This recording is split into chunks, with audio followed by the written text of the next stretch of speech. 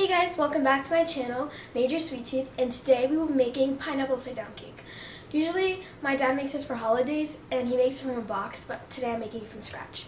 So I'm making the cake from scratch, of course, because I always do that. So for today's cake ingredients, you will need 1 and 1 4th cups of cake flour, 1 and 2 fourths cups of regular flour, 2 sticks of unsalted softened butter, 3 eggs and 1 egg yolk, 1 and a half cups of sugar, 1 cup of pineapple juice, and 1 teaspoon of baking powder.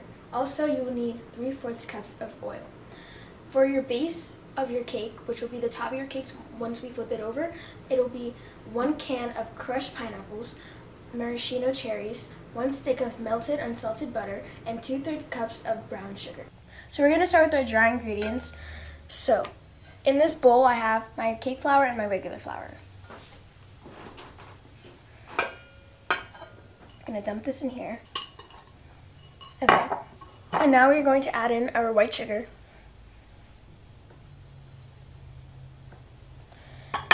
And then we're going to add in our one teaspoon of baking powder.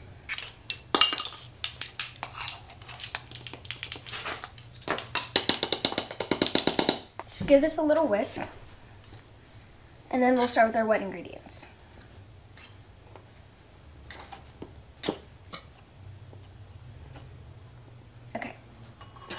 So put this off to the side for now. And let's get a bigger bowl. So now we're going to add in our softened butter in the bowl.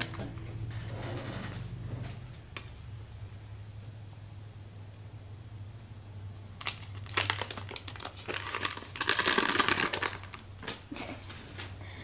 And next we will add in our eggs. So again, this is three eggs and one egg yolk. So now we're going to mix together our butter and our eggs with our hand mixer until it's well combined.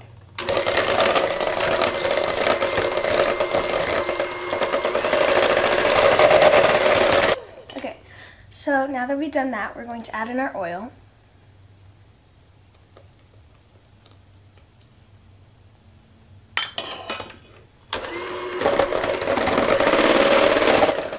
And then we're going to gradually add our pineapple juice in and while mixing our ingredients on low speed.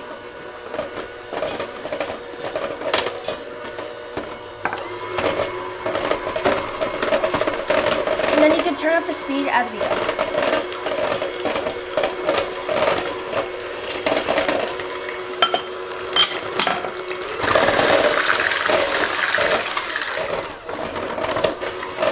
Don't do what I just did.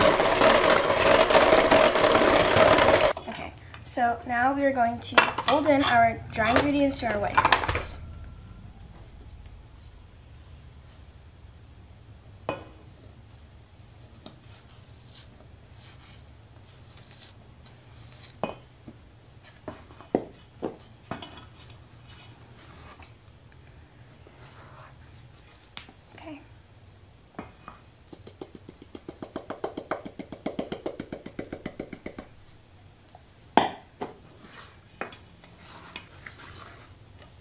And we can add in the rest of our flour and baking powder. So I'm actually using crushed pineapples instead of your typical rings of pineapples because you'll get a taste of pineapple in every bite. And it, I like it better. Okay, so we're gonna do this, we're gonna mix this with our hand mixer and then we're gonna put this off to the side.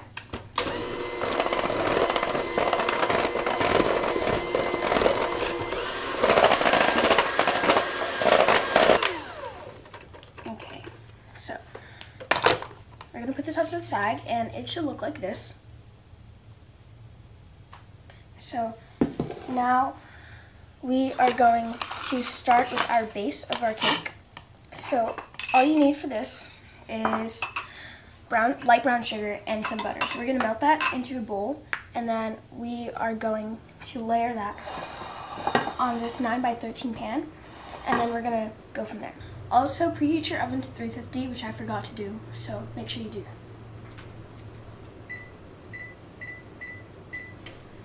that. Okay, so we're going to put in our light brown sugar in this bowl.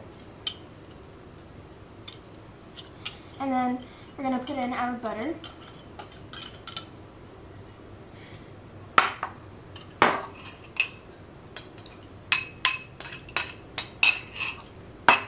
Mix it up a little bit and then I'm going to put it in the microwave.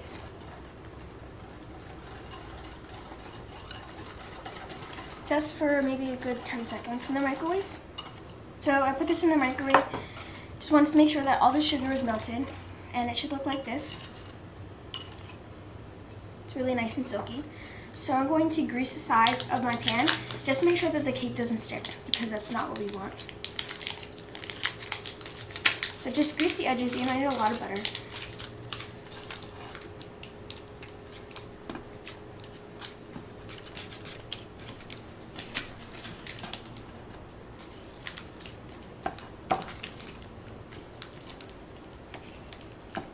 So I greased my pan and I just made, and I did that because I don't want our cake to stick to this pan when we try to flip it over. So now that we've done that, we're gonna put our brown sugar and butter mixture in the pan, spread it out evenly.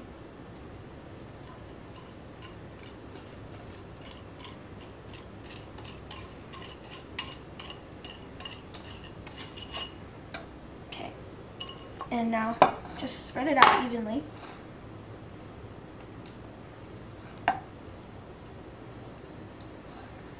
And when we flip this over, it's going to give this cake a really nice glaze on the top of it. So I put my butter and my brown sugar mixture in the pan. This is what it should look like. Make sure it's even. And now we're going to add our crushed pineapple. It's right here. So I'm just going to take a couple chunks and I'm going to spread it out evenly.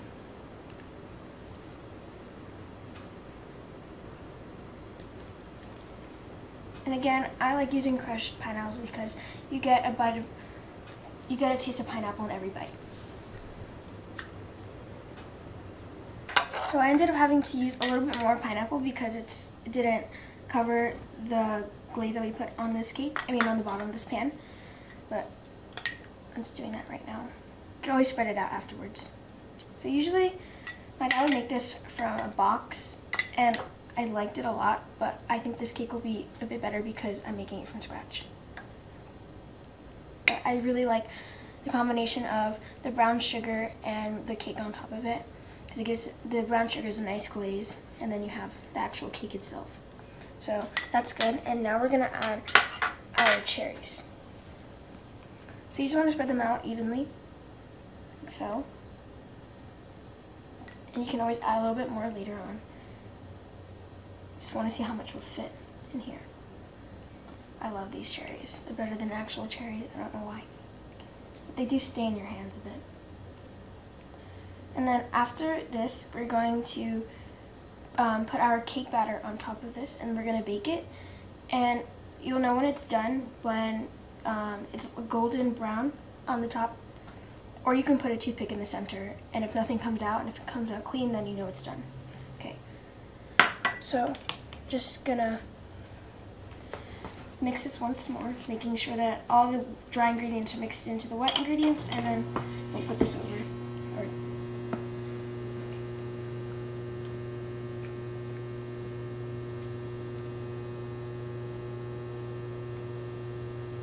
It's a really easy recipe too for the summer because pineapple is a tropical fruit.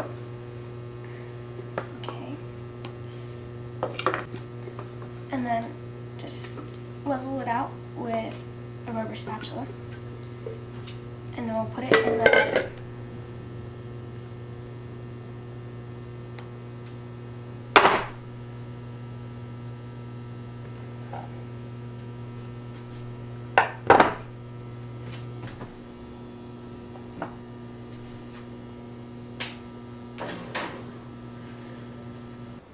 So the cake is done. I, um, I stuck a toothpick in the center, but it came out clean, and I'm going to take it out of the oven. So we're going to let this cool for five minutes, and we want to do that because we want to make sure that all the sugars get a chance to settle before we flip it over, because if we flip it over too early, it's not going to turn out well. So just let it um, chill for five minutes, and then we'll flip it over. So we let this rest for five minutes, and now we're going to flip this. Make sure that if you are a kid, please ask a parent or guardian because this pan is extremely hot still. So just make sure that you ask someone to help you. That is older than you, of course. So let's put another pan over it. Okay. And then we're going to flip it over. No. Okay. Do it this time.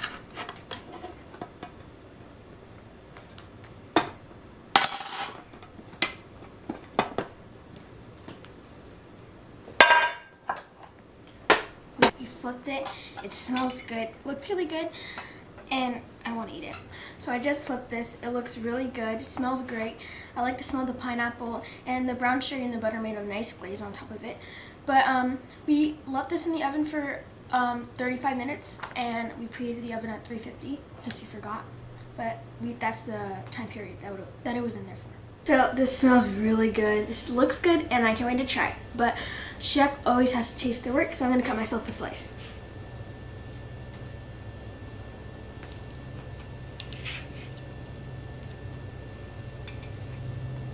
Moment of truth.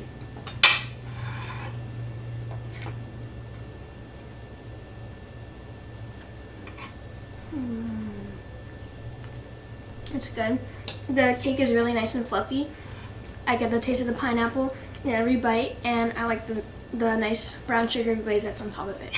I'm not sharing this with anyone. So during the holidays, my dad would make this from a box, and it was good, but I like my recipe better because I made it from scratch. So this tastes really good again, and if you saw this video, I hope you liked it. Make sure to comment down below if you tried it, click the like button, and subscribe.